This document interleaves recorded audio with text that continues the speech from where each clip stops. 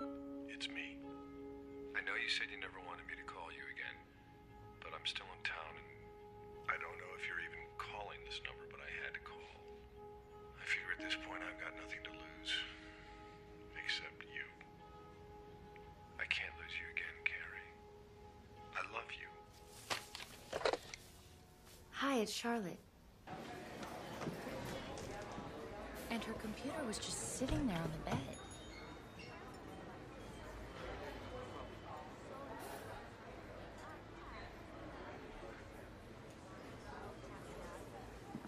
Well, I know I haven't been your favorite over the years. I wouldn't say that. I would.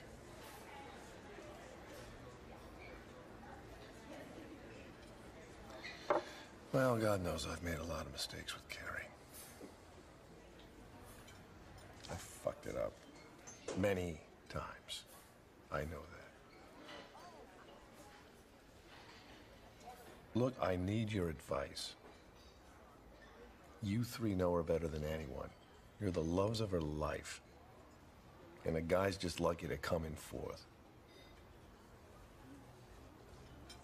But I do love her. And if you think I have the slightest chance, I'll be on the next plane to Paris. I'll roam the streets until I find her. I'll do anything.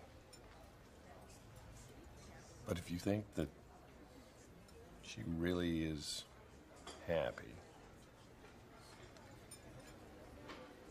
well, I, I wouldn't want to wreck that for her. And I'll be history.